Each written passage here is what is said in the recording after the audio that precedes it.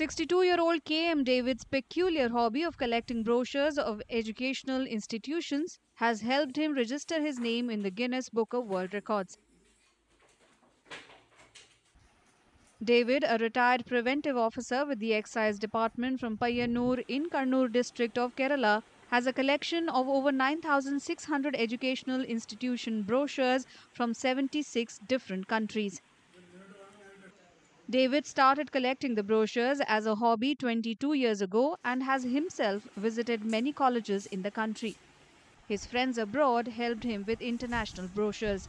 I visited uh, visited in 29 states in India and lot of research uh, research and technical and other universities including agricultural vet- veterinary medical Many students in the area approach David to learn about courses through the brochures before selecting the course they want to take.